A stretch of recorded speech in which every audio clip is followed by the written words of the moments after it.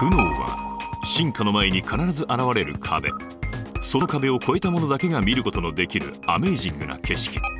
今夜はその景色を少しだけあなたにお見せしよう。Lexus Presents The Amazing Program.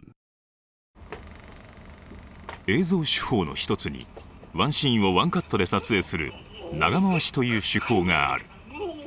それを生み出したとされるのが溝口健二である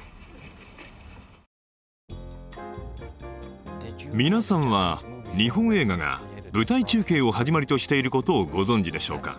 そのため当時は客席の目線そのままに芝居を止めることなく撮影していました。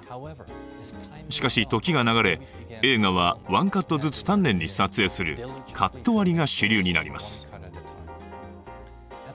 その当時すでに映画界の巨匠とされていた溝口健二彼はその撮影方法によって生まれる弊害に苦悩していました。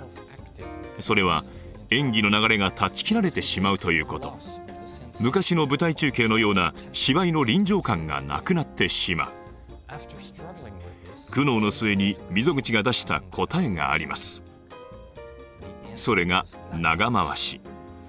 ワンシーンをワンカットで撮ってしまうという手法。これにより役者は感情の流れを断ち切られることなく演技をし加えて一発勝負の緊張感を持って芝居をすることになります。